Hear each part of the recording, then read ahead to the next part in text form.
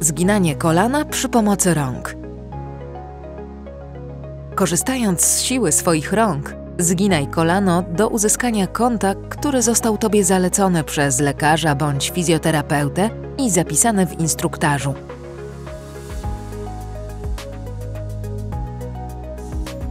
Postaraj się nie przekraczać granicy bólu podczas wykonywania tego ćwiczenia. Odpuść mocniejsze zginanie, gdy poczujesz duży ból.